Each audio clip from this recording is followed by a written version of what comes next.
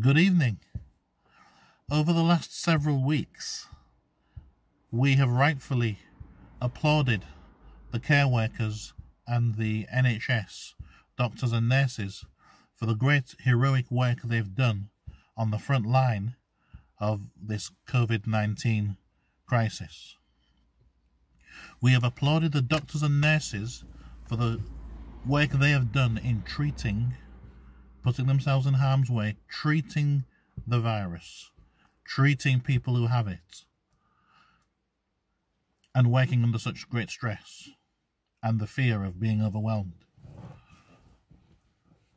However, it isn't untrue to say that every one of these workers, as far as I know, there may be some other examples, but basically the vast majority or all of them have done this work for money. They have been paid, rightfully so. They have been applauded, rightfully so. But there is another side to this coin. There is another aspect, a wider issue.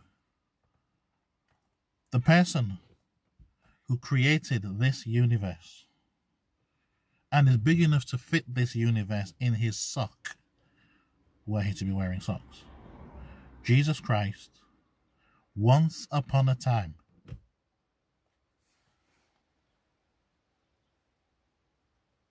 treated our sicknesses and diseases, and healed our sicknesses and diseases.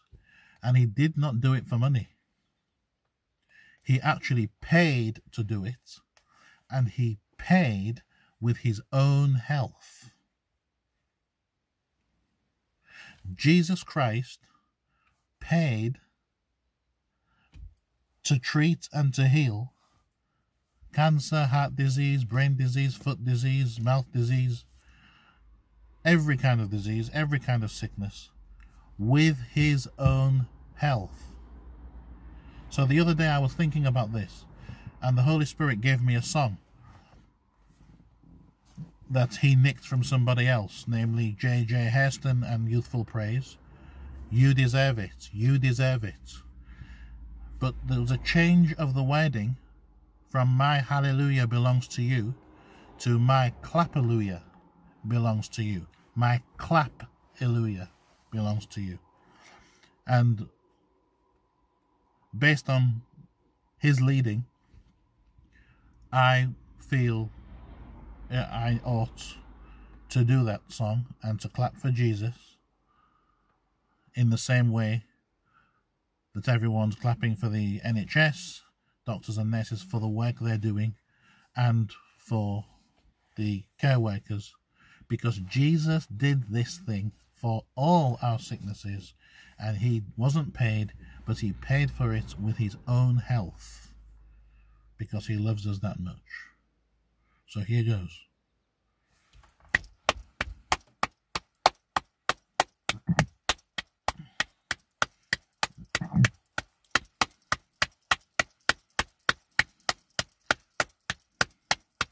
My clapalooya belongs to you.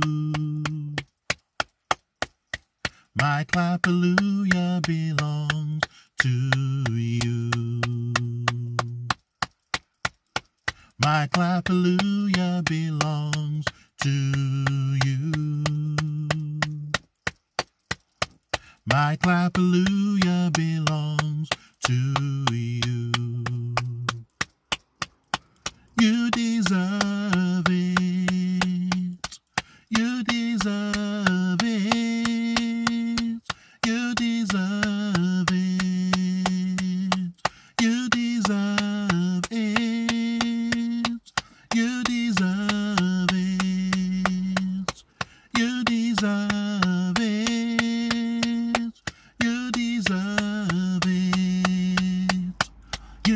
days of it.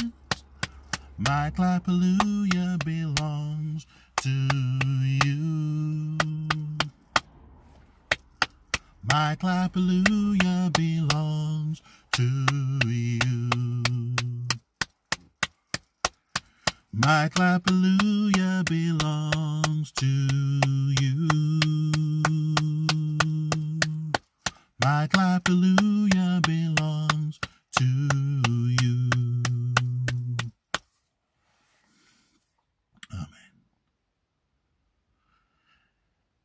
Just one last thought.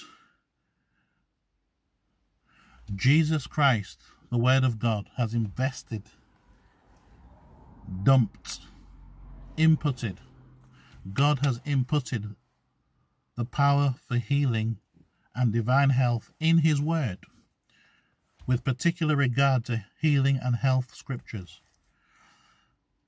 If the whole church, I'm talking about the born again church, Bible believing, Bible respecting church, were to spend as much time over the next three months meditating on the scriptures on health and healing as much as we, let's be honest, have meditated on COVID 19 over the last three months,